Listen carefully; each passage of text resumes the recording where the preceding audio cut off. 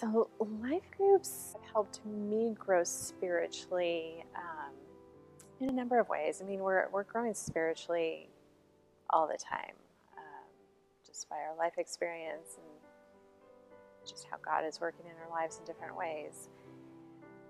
But what I've been reflecting on recently in terms of life groups and um, how they're impacting my spiritual life is this notion of staying awake. And um, this idea of staying awake has been with me for the past couple weeks. In Scripture, you know, we we hear, you know, stay awake, and I don't think it's meant to be pulling all nighters. I think it's meant to um, to pay attention and to be aware. And how I see that kind of transferring into life groups is that when I'm with my other life group members, they're helping me to stay awake to my faith.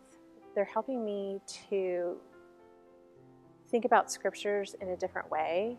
Um, their life experiences often help me look at scriptures um, more fully and it helps me to stay awake and to pay attention and see how those scriptures could be even more alive in my life as well. I think that notion of staying awake, being present, and um, recognizing the scriptures as um, a part of our everyday life is probably how life groups have um, impacted my spiritual journey.